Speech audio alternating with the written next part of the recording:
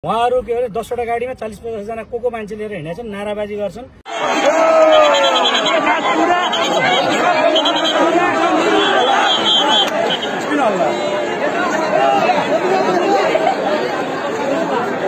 अब अहिले एघार नम्बरको बुथमा म भित्र म म गएर त्यहाँको कर्मचारीहरूसँग भेटघाट गरेर बाहिर निस्किँदै गर्दा उहाँहरू पुरा बाहिरको हुलुज्जत गरेर नाराबाजी गरे। त्यसपछि त्यहाँ प्रतिवाद सामान्य झडपको स्थिति बनेको देखियो।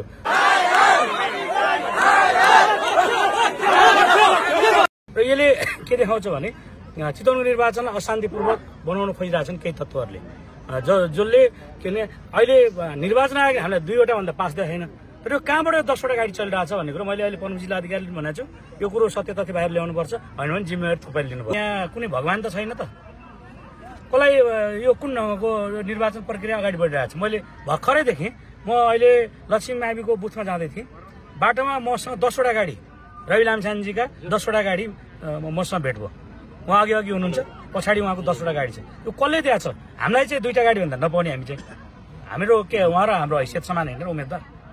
अनि के कारणले यो मैले यो कुरामा गम्भीर हुन मैले भनेको छु प्रमुख जिल्ला अधिकारी तपाईँमाथि पनि अब प्रश्न चिन्ह खडा हुन्छ। प्रश्न भनेको छु हामी हामी नमस्कार गरेर हिँडेका छौँ। हामी काहीँ नाराबाजीको चाहना छैन हामीलाई। हामीलाई गर्नु पनि परेको छैन। किनकि अहिले आचार यो त यो आचार संहिताले के भन्छ?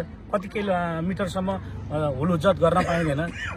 भनेको छ आफै नाराबाजी लाएर हिँडिरहेको छ। यसले के फेरि नाराबाजी गर्ने मान्छे जनताले लायो हुन्थ्यो फेरि। लिएर हिँडेको छ आफै आठ दसवटा गाडीमा। पुरै हिन्दी फिल्मको डन जस्तो अहिले। आठ दसवटा गाडीमा हिँड्ने को- कसले दियो? यो इजाजत कसले दियो? तपाईँहरूले तुरन्तै प्रमुख जिल्ला अधिकारीलाई सोध्नु छ यो कुरो। होइन भने मैले भनेको छु प्रमुख जिल्ला अधिकारीलाई तपाईँ पनि सो यसमा संलग्न भएको कुरा हुन्छ।